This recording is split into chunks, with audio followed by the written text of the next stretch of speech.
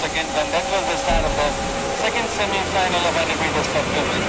And the Priyanka Murali with Maharashtra who is putting herself in front comfortably ahead of others and of course from lane number 5 AP Shilda of Kerala was also so close to her.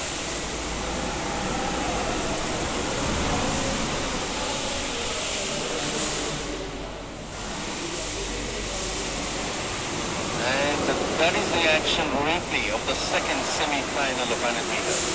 Where you could see from lane number 3 Diandra Dudley Valladares of Maharashtra is well ahead. No athlete is closer to her. Watch out from lane number 5 it is AP Shilda of Kerala who is trying to catch her up and as the time goes by she is narrowing down the lead and it was a slender lead I suppose Diandra, yes, Diandra Dudley Valladares finishing on top with 11.5